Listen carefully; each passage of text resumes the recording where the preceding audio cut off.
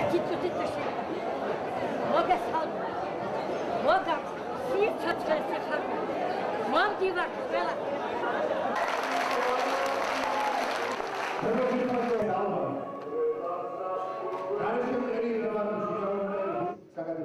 აზარი ჩვენი გუნდსფერი სიტყვა ჩავიტანე.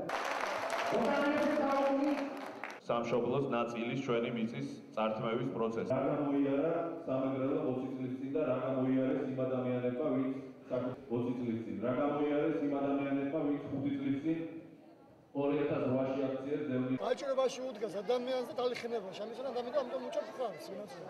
თუმცა რომ ეს კაცი არის პოლიტიკოსი. მე მწამს მისი და მე მგერა რომ პოლიტიკოსებმა უნდა მართონ ეს ქვეყანა. პოლიტიკოსი მჭირდება ჩვენ დღეს და არა ბიზნესმენი. საქართველოს ძალიან ბევრი გამოწვევის წინაშე დგას. მე დღეს ვიყავი დვანში, სადაც ვნახე როგორ გრძელდება ქართული მიწის ოკუპაცია და მიტაცება. ამიტომ ამ ქვეყანას ჭირდება მომავალი პრეზიდენტი, რომელსაც ექნება გამოცდილებაც, რომელსაც ექნება საერთაშორისო კონტაქტებიც და რომელსაც ექნება საკმარისი სიმტკიცეც იმისთვის, რომ დაიცვას ეს ქვეყანა.